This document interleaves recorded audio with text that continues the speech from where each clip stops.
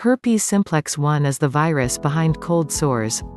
Up to 80% of the population has this virus in their body.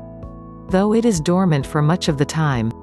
Anyone who has ever had a painful and ugly outbreak has. One main question that they want answered, how to get rid of cold sores fast. Even though cold sores don't last forever, it can seem that way sometimes. But there are some things you can do to make life a little easier. Of course the best thing to do is to not get an outbreak to begin with. Make sure you keep your immune system strong by getting enough sleep, eating properly and washing your hands frequently. None of these things will guarantee that you won't get a cold sore, but they sure can help. It's also a good idea to avoid using personal items from anyone who has an active outbreak. Steer clear of razors, toothbrushes, glasses, lipstick, etc. You'll also want to keep the kissing to a minimum. Sorry. Cold sores will be more likely to rear their ugly little heads when you are overstressed or overtired. Try to keep balance in your life, not always easy I know, and you might be able to avoid some outbreaks. Once you've got a cold sore the only thing you can think of is how to get rid of cold sores fast. The Sooner you start treating your cold sore the sooner you can be rid of it.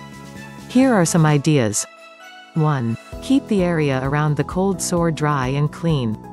Cold sores love a moist environment so by keeping the area clean and dry you are depriving it of what it needs to make itself at home. 2. As soon as you get an outbreak, get a new toothbrush.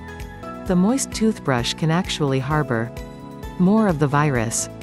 Also, don't forget that if your toothbrush has come into contact with the tube of toothpaste, make sure you replace that too. 3. Taking a supplement to help keep yourself strong might also help you quicken the recovery time. You may not totally stop an outbreak, but you might be able to hasten its departure. 4. Herbal remedies like lemon balm, echinacea and tea tree oil can also help the healing when applied to the affected area. 5. Learn to deal with stressful situations by learning to meditate, or do yoga, or whatever it is that will help you keep balance in your life.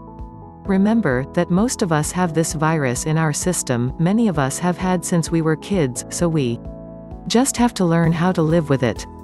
Dong everything possible to keep your body healthy and avoiding an outbreak in the first place is the first step.